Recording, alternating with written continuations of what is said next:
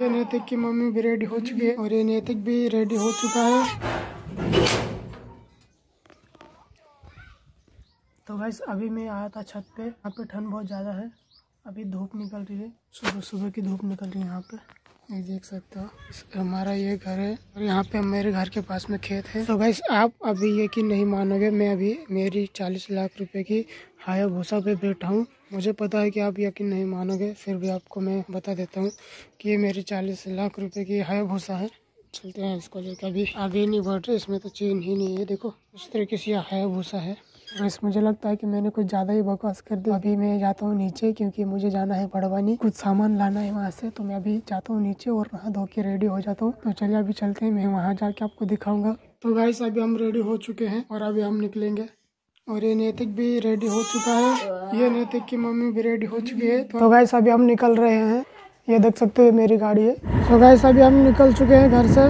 घर से बहुत दूर आ चुके हैं। मतलब कि हमारे गाँव के पास में एक गाँव है वहाँ पे आ चुके हैं देवघर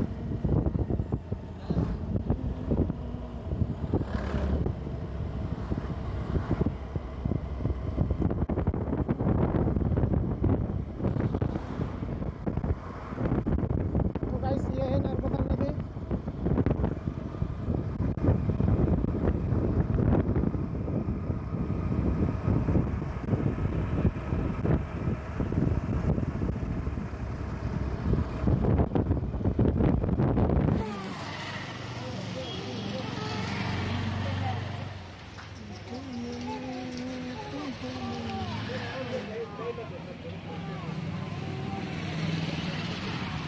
तो गाइस अभी हम दो दिन के बाद फिर से ये ब्लॉग स्टार्ट किए हैं क्योंकि हम मेरे ससुराल में रुक गए थे तो अभी दो दिन के बाद हम फिर से बाज़ार करके अभी अभी घर जा रहे हैं।